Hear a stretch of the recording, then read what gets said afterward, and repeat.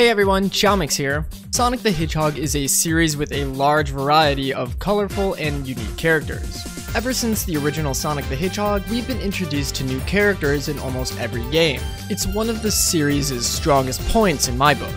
The vibrant personalities and the iconic abilities of each character always spiced up the gameplay and story for each game. And one of my favorite games in the entire franchise, Sonic Heroes, always seemed like the culmination of every character up until that point.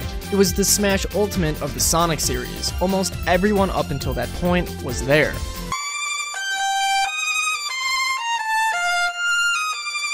Even beyond Sonic Heroes, we were continued to be introduced to new characters. Sonic Rush introduced us to Blaze the Cat, one of my favorite characters in the entire series. 06 was Silver the Hedgehog's debut, who's honestly such an underrated and possibly even one of the most unappreciated characters ever. Sonic Unleashed had Chip, who is a really great comic relief character and played a huge part in that game's tearjerker ending. Colors introduced Wisps in a game that tried to have a more self-contained and simple story. Lost World, uh, we don't talk about these guys. And finally, Sonic Forces was Infinite's inauguration into the series.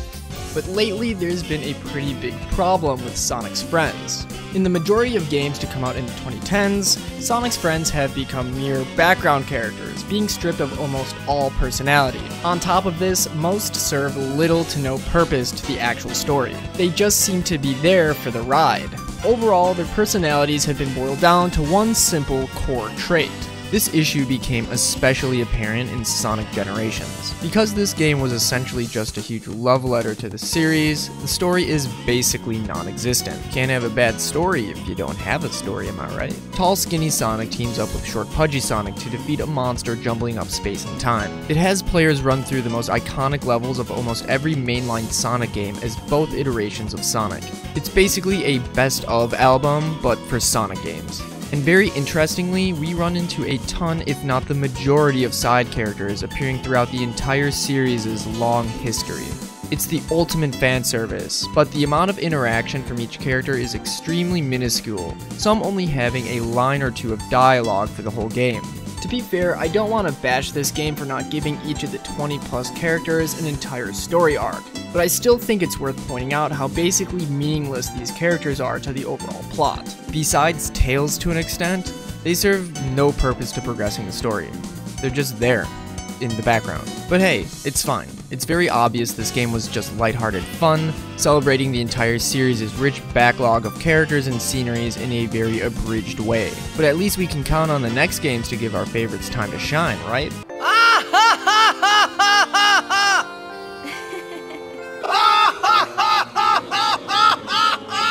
Okay, so I don't really want to go too deep into Sonic Lost World, as it doesn't feature many of the side characters besides Tails in major roles. I also don't want to dive too deep into Sonic Boom's characters yet. That might be an entirely separate topic for a future video. So let's jump forward to Sonic Forces, the preceding game after Generations to share the same mainline gameplay style and story. This is a game that also features a large amount of the cast of side characters but unlike Sonic Generations, this isn't just a light-hearted game including a ton of characters as a salute to their contribution to the series. Oh no, this game is actually meant to take itself seriously and have a more grounded story. Sonic Forces has a ton of characters on both the hero and villain side, and the majority somehow manage to be almost pointless to the story, but more annoyingly, their personalities are almost cheap impersonations of what they used to be. For this video, I just want to focus on the hero characters, but I promise you, I'll be going over the villain characters in an entirely separate video in the near future. Let's go over most of the main cast of the heroes and see how their personalities compare to that of the previous games. Let's talk about Tails first. He's Sonic's number one loyal sidekick and plays a pretty major role in almost every game.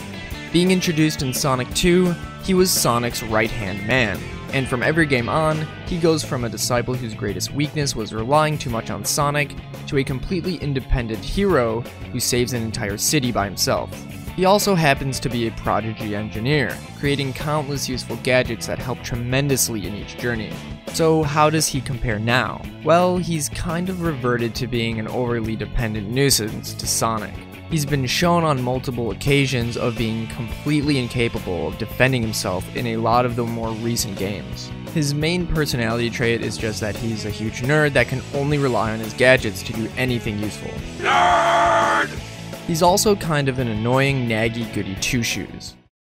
Knuckles the Echidna, guardian of the Master Emerald and the last remaining member of the ancient Echidna tribe. First appearing in Sonic 3, he's depicted as being very hot-headed and gullible, falling for Eggman's scheme of going after Sonic for trying to steal the Master Emerald.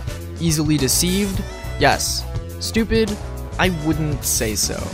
But in Sonic Boom, he's depicted as a moronic meathead. Reduced to comic relief, it was a huge blow to Knuckles fans. But this was a spin-off game and his personality isn't exactly like this in Sonic Forces. I feel like they wanted to make up for this by making him the strategist. It isn't the most insulting role, but I always viewed Knuckles as someone who doesn't entirely think things through before acting. But the biggest issue is the lack of, you know, being the guardian of the Master Emerald. Does that thing even exist anymore? Knuckles is out here doing all of these crazy shenanigans in a lot of the newer game. So who's guarding the Master Emerald? Amy, Sonic's number one supporter, first debuted in Sonic CD. She was a young girl infatuated with Sonic for his righteous and heroic deeds. In Sonic Adventure 1, she's shown as a compassionate and strong person willing to help others less fortunate than her constantly putting herself directly in front of danger. She also plays a huge role in Sonic Adventure 2 in helping Shadow realize his true role in saving the world. Looking at Amy in more recent games, she's basically just an over-clingy nuisance who isn't given any spotlight apart from Sonic Boom. She's been shown to be more than capable of not only defending herself, but going out of her way to defend others. Unfortunately, we just don't get any of that in the newer games. She's been reduced to Sonic's number one cheerleader.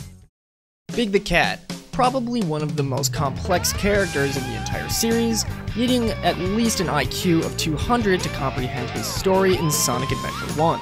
He's an extremely clumsy and oblivious character that would always somehow get himself stuck in situations way bigger than he realized. Now he's kind of just the fat meme man. Shadow the Hedgehog, one of the most misunderstood characters, first appeared in Sonic Adventure 2 as a rival and counterpart to Sonic. His character is extremely well written within this game, as he starts off as a misguided villain seeking revenge, but then later realizing from the help of our hero characters that his true goals lie within saving the world. I could talk about Shadow and his incredible character depth for hours, but for now we'll just leave it at this. Shadow's character has been so misrepresented in almost every game outside of SA2, Heroes, and 06. Now he's this incredible edgelord that completely contradicts his character revelations from the games I just mentioned. Sonic Team loves portraying him as what seems to be almost like a parody of what he's supposed to be.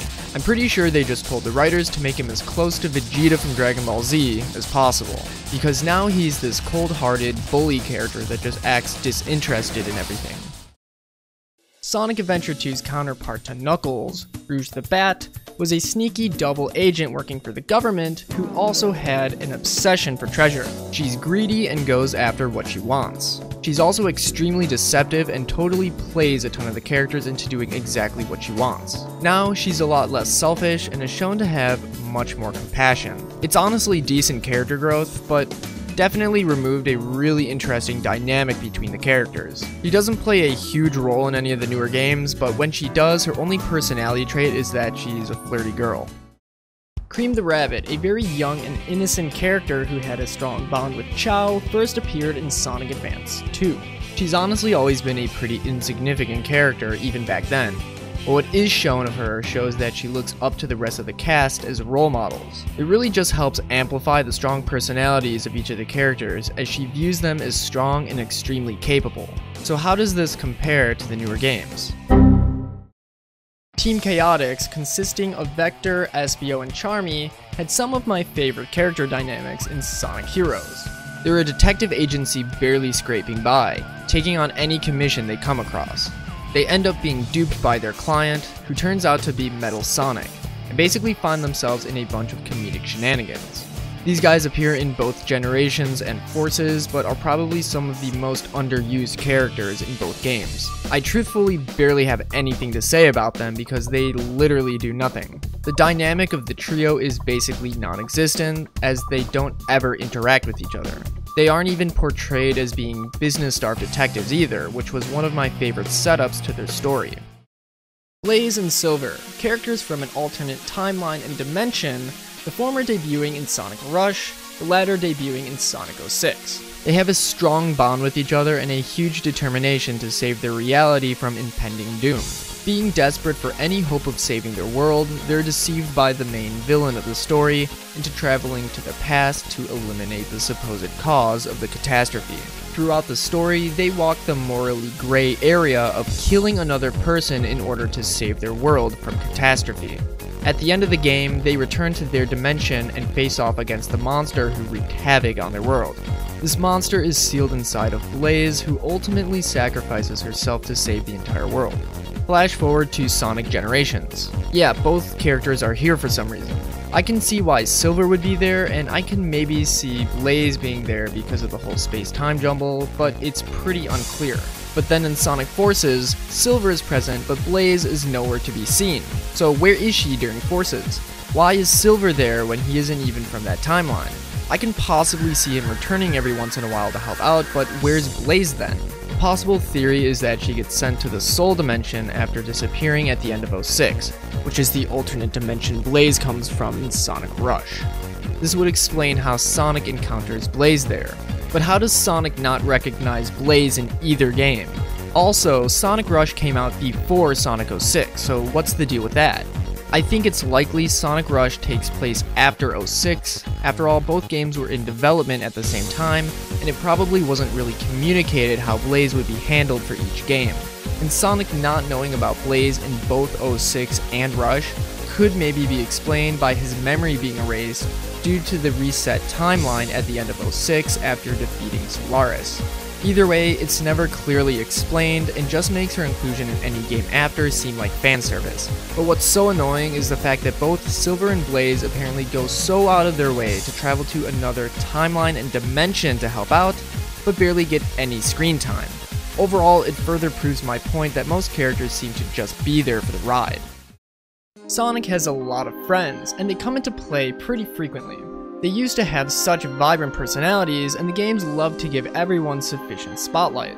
Over the years, the spotlight has diminished to the point where our once colorful side characters have been reduced to shallow background characters with extremely simplified personalities. I think Sonic Team's best bet is to not try and include every side character in a single game, and focus on a smaller to medium sized group so everyone gets a fair shot of being relevant to the story, and get the attention they deserve. Hopefully one day we can once again see our favorite characters get adequate screen time and proper treatment to their personalities. Hey guys, thank you so much for making it to the end of this video. If you like what you saw, leave a like and subscribe for more content similar to this. I try to upload at least one video every week. Let me know in the comments below the character you think got the biggest nerf to their personality. Personally, I think it's either Tails or Shadow. My Twitch schedule from now on will be changed to Wednesdays and Sundays, so if you want to see me play some games, feel free to stop by. And finally, if you're a super fan of my content, make sure to join the community Discord. Here you can get the latest scoop on my videos and chat with other fans. Links to everything in the description.